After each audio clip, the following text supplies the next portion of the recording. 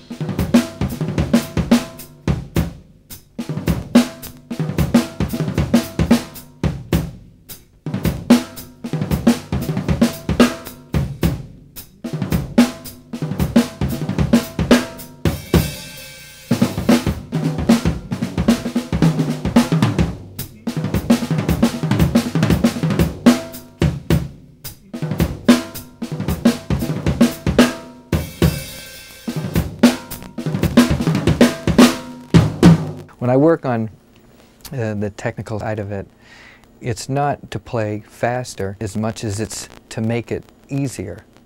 So.